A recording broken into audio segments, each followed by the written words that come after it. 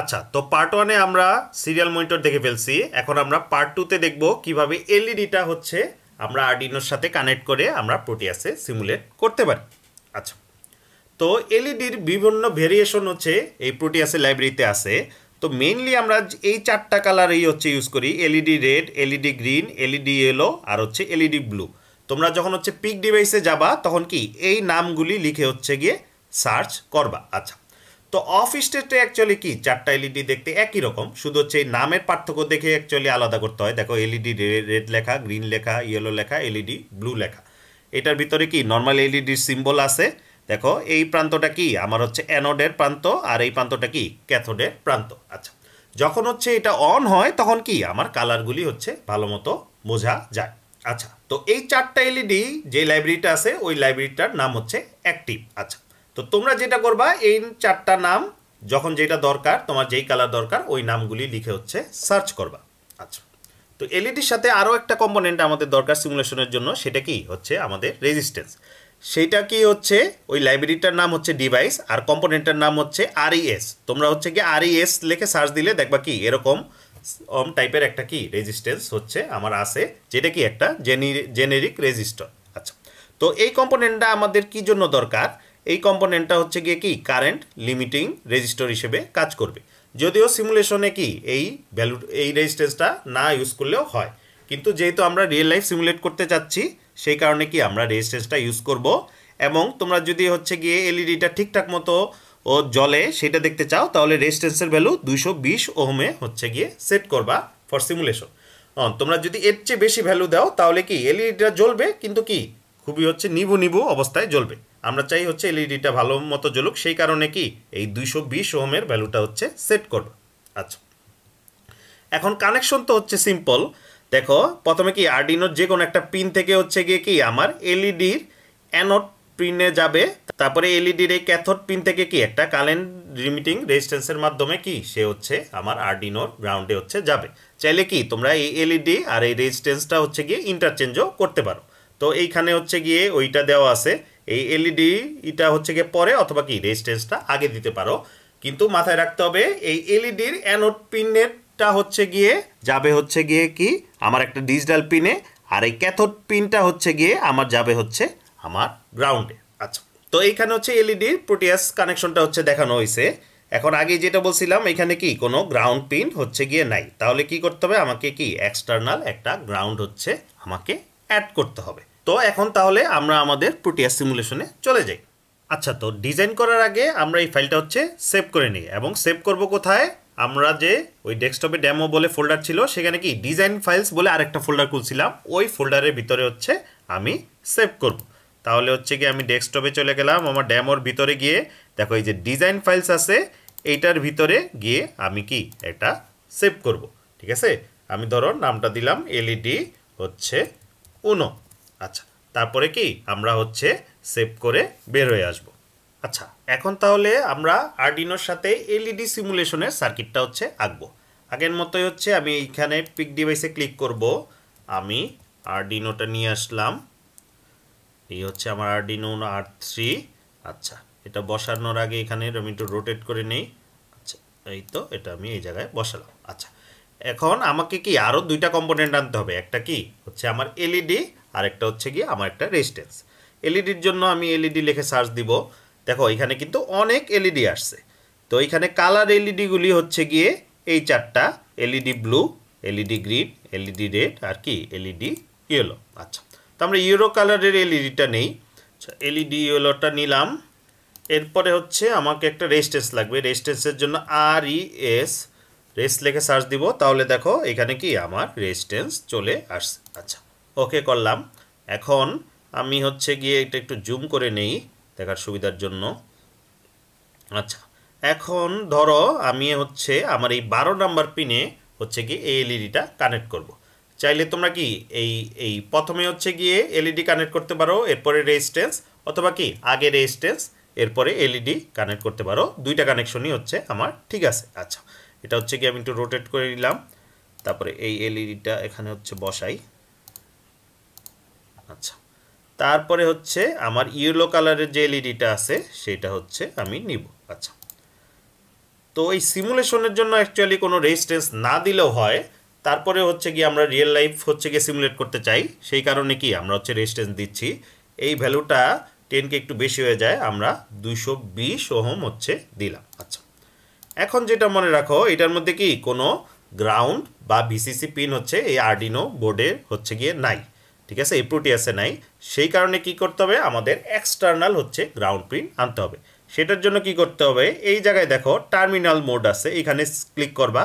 তারপর দেখো এখানে গ্রাউন্ড বলে একটা আছে। এই গ্রাউন্ডে ক্লিক করবা। দেখবা আমার গ্রাউন্ডটা হচ্ছে চলে আসছে আচ্ছা। গ্রাউন্ডটা বসালাম। তারপরে মনে রাখতে হবে কি? এলইডির ক্যাথোড প্রান্তটা কি? হচ্ছে আমার আর গ্রাউন্ডে যাবে, আর অ্যানোদ প্রান্তটা কি? একটা রেজিস্ট্যান্স হয়ে কি? আমার এই আর্ডিনো বোর্ডে হচ্ছে যাবে। আচ্ছা তো এখন হচ্ছে আমরা কোডটা লিখব। তো আমি আমার আর্ডিনো আইডিটা নিয়ে আসি। আচ্ছা তো কোডটা হচ্ছে সিম্পল প্রথমে হচ্ছে গিয়ে আমি এলইডিটা হচ্ছে গিয়ে একটু ডিফাইন করে নেই।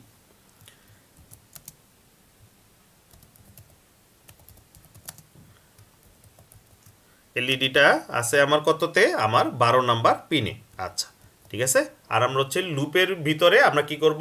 এলইডিটা একবার টার্ন অন করব, আরেকবার কি? আমরা হচ্ছে গিয়ে টার্ন অফ করব, তাই তো? তাহলে প্রথমে আমাকে কি করতে হবে? সেট ভিতরে আমাকে কি? পিন মোডটা হচ্ছে সেট করতে হবে। পিন মোডটা আমার কি হবে? এটা অফকোর্স কি? আউটপুট হিসেবে আমাকে হচ্ছে সেট করতে হবে।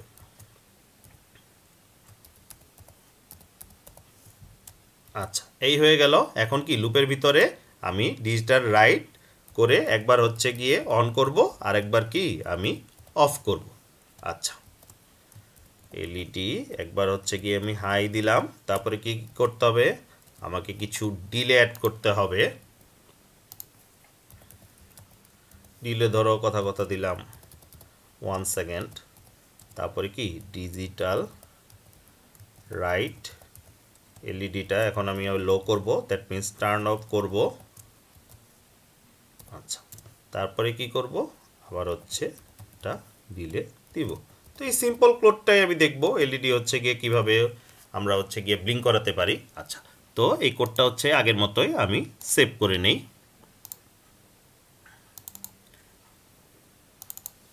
এটার নাম ধরো, দিলাম এলইডি ওয়ান আচ্ছা ঠিক, এখন কি করব?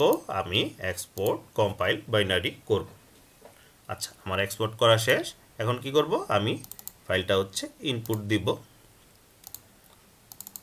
আমার কোডের ভিতরে এলইডি ওয়ান বলে যে ফোল্ডার ওটার ভিতরে আমার যে হেক্স ফাইলটা সেটা। আচ্ছা ওপেন করলাম ওকে দিলাম।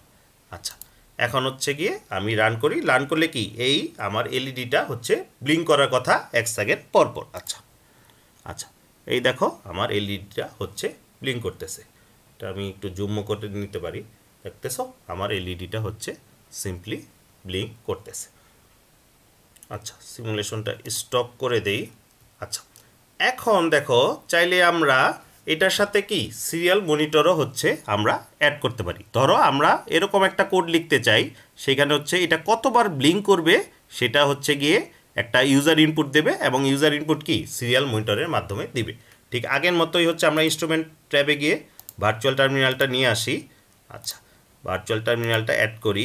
আচ্ছা তোমাদের যদি মনে থাকে, দেখো জিরো এবং ওয়ান নাম্বার পিনকে আমরা নর্মালি কি বলি? ডিজিটাল আল ইনপুট বা আউটপুট হিসেবে না নিতে। কারণ কি? এটা দিয়ে হচ্ছে গিয়ে ট্রান্সমিট বা রিসিভ হয়।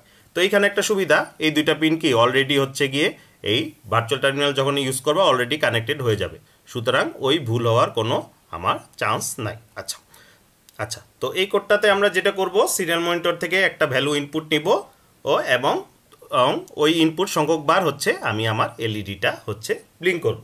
আচ্ছা তাহলে আমরা আমাদের আর্ডিনো আইডিটা নিয়ে আসি।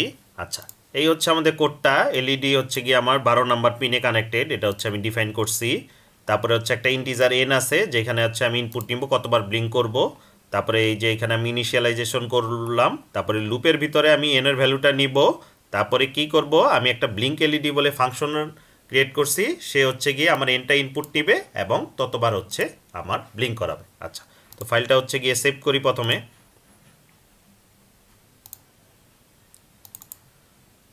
আচ্ছা এইটার নাম দেই হচ্ছে এলইডি এলইডি টু আচ্ছা এরপরে হচ্ছে গিয়ে আমরা কম্পাইল করে নিলাম।